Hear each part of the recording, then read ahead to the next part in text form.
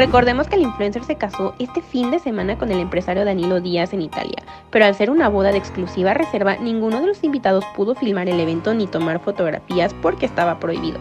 Pero ahora es cuando pudimos observar cómo fue el reventón dentro de la boda del año. Por ejemplo, tenemos las fotos junto a los familiares, el momento exacto donde los novios se dan el sí y les llueven pétalos de rosa. El primer bailecito que se echaron los recién casados tampoco faltó y con los familiares. La partida del pastel gigante que es muy tradicional, pero curiosamente no apareció Luis Miguel en ninguna de las fotos, así que probablemente esas fotos aún tarden un poquito en salir para dejar suspenso.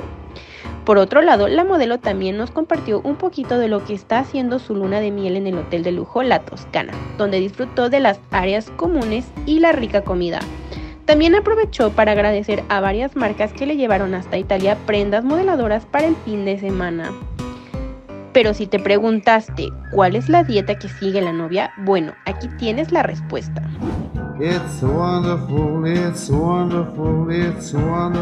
Además, nos compartió un poquito de lo que fue su maquillaje y peinado para el tercer vestido que usó en su boda, el cual le quedaba como un guante de seda.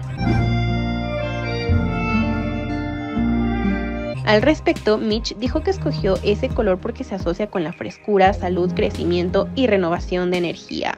Claro, y no podía haber vestido sin joyería.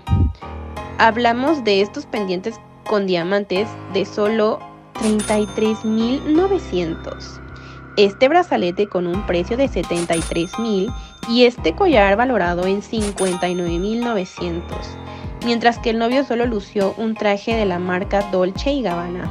Y bueno, en otros temas te cuento cómo Kimberly Flores responde a las puntadas de que no canta tras el anuncio de su gira con la Tracalosa de Monterrey. Así que si te lo perdiste, aquí te lo cuento todo.